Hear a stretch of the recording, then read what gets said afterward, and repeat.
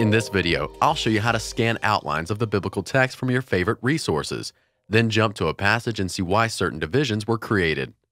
One of the first tasks of preaching or teaching a passage from the Bible is crafting a thoughtful outline, one that breaks down a text, highlighting the major divisions and organizing the minor ones.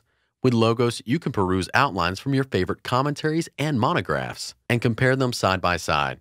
So let's imagine we're studying through the first few chapters of the book of Romans, and you want to see outlines for this section of the book.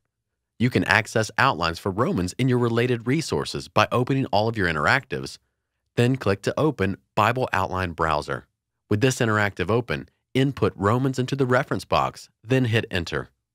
And in a matter of seconds, Logos graphically displays outlines for Romans from across your library.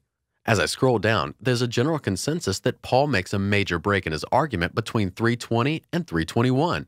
According to the Baker Expositional Commentary, 118 through 320 deals with sin, righteousness demanded, while 321 through 521 deals with salvation, righteousness declared. The New American Commentary agrees with this division, marking Romans 118 through 320 as dealing with the unrighteousness of all humankind, and 321 through 521 as dealing with the righteousness that only God can provide. Scrolling back to the left, I can click the reference for Romans 3:21 to view the biblical text and see why major commentaries mark this text as a dividing point. For starters, Paul uses a sharp interrupter, but now as a means of separating the inauguration of a new era now that God has intervened. Further, the refrain, righteousness of God, appears in verse 21, connecting Paul's comments from this point forward to what he previously said in his introduction concerning the righteousness of God. Looking back at the NAC, notice that this commentary breaks down 321 through 521 into three additional sections.